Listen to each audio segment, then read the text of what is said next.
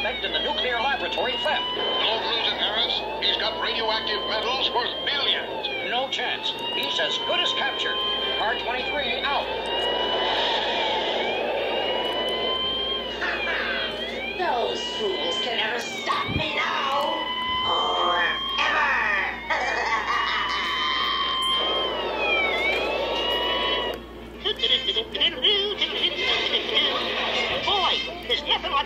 Like a hike in the. Is there, Uncle Scooby? Uncle Scooby?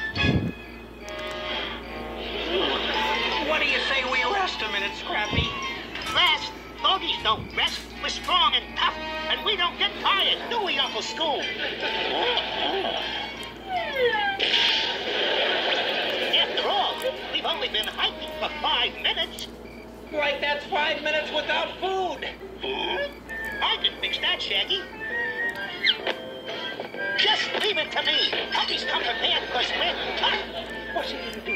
Rub two sticks together and fry up some wild berries, huh? okay, how do you like the steaks? Thanks. A Scooby Scout is always prepared. Right, Uncle Scooby? I mean, are prepared, Uncle Scoob, aren't we?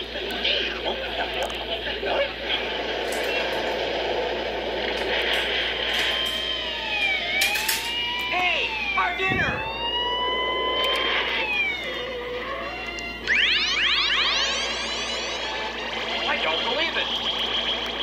Flying saucer.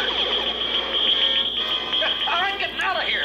Harris, what's going on out there? Harris, Harris, what is it?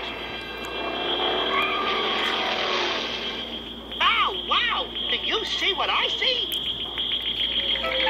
Are you cold, Uncle Scooby? Like, let's get back to the cabin. this is no place for cowards. Scooby Scouts are not afraid, Shaggy. I wasn't talking about you, Scrappy.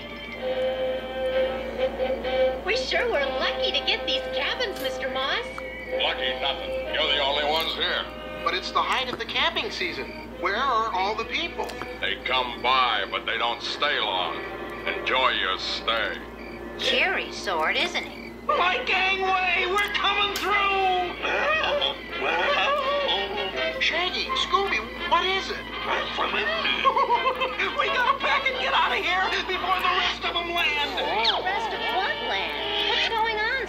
It was really neat, Velma. We saw this creature from another planet get onto a flying saucer and fly off.